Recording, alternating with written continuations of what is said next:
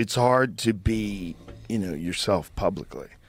but uh like Mark Hamill was like, "Are you gonna stay for the and watch the movie?"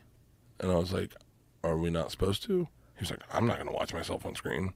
And I was like, "Why?" He's like, "You want to just you're gonna sit in front of 750 people and watch yourself?" And I was like, "I was like, hey Mark, secret time. I'm gonna cry watching myself. I'm gonna cry and I'm gonna mouth my my lines." They sat me in the front row. The movie starts and I start bawling, crying. I start bawling, crying, and I start mouthing my lines. I'm laughing hysterically.